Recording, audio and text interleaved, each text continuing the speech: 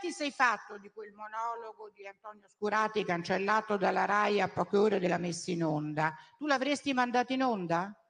Io personalmente l'avrei mandato in onda e non gli avrei dato però neanche una lira per fare un'opinione, però l'avrei mandato in onda, no Eh. 1800 euro. Poi avrei detto, questo signore va in onda, sappiate però sotto sottotitolo che per questo minuto e mezzo prende milione, 1800 euro. Questo avrei fatto, in onda con un sottotitolo, sta parlando a fattura. Allora, prima di tutto, scusate, però devo dire che chiunque va in Rai a parlare o in qualunque altra.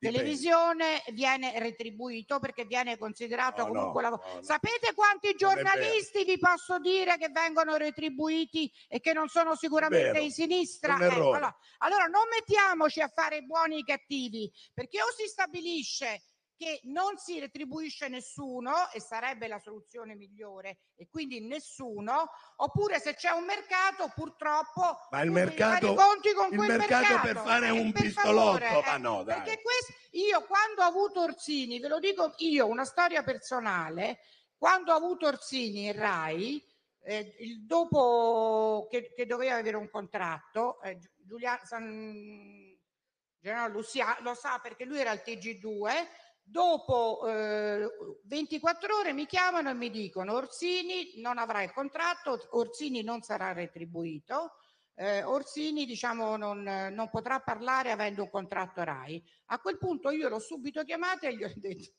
e Lupi se lo sarebbe risparmiato e gli ho detto, professore viene gratis? E lui mi ha detto, vengo gratis. Bravo. Ho chiamato la direzione generale e gli ho detto, Orsini viene gratis, voglio vedere a questo punto come potete togliermelo. Però è lui che ha fatto la mosca bianca in una situazione in cui tutti sono retribuiti. Allora, Posso dire una cosa? una Non è vero regola- che tutti sono retribuiti. tutti. Sono retribuiti chi svolge un lavoro, non chi esprime un'opinione come opinionista. Un Allora giornalista- dica, io sono un dipendente, un collaboratore, non un opinionista. Vogliono avere l'aura del- de- dell'opinionista disinteressato, però poi se non gli danno 1800 Allora, euro non parla. Ignazio, Sì. sono retribuiti tutti. Vabbè, vabbè. Eh, hai detto bene, Allora, però scusate, ma ehm, comunque tu dici che, che Scurati andava mandato. Ma io non vorrei fare ulteriore propaganda No, oscurata. certo, certo. Già fa un sacco di soldi parlando di Mussolini.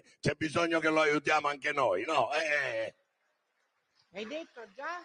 No? già fa un sacco di soldi parlando di E Mussolini. perché non può parlare di Mussolini? No, ho detto già fa un sacco di soldi parlando di Mussolini.